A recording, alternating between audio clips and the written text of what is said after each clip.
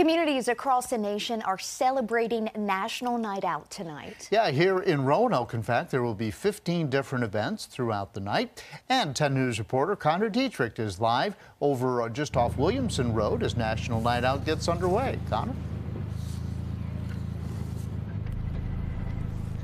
Yeah, John, I'm here. I'm actually right on one of the train rides here at National Night Out off of Williamson Road. And like you said, this is just one of 15 different locations throughout Roanoke, throughout the city of Roanoke, um, to celebrate National Night Out. And I actually just got a chance to speak with some of the law enforcement, some of the first responders. I talked with Chief Hoback with Fire and EMS. I talked with Captain Andrew Pulley in Roanoke City um, Police Department, and they both are saying that they're excited to be out in the community because a lot of the times they have this negative connotation that they're always going to the bad news, but they want to showcase that they are out in the community just as well, doing good things. This train ride just stopped, so I'm going to actually step out here.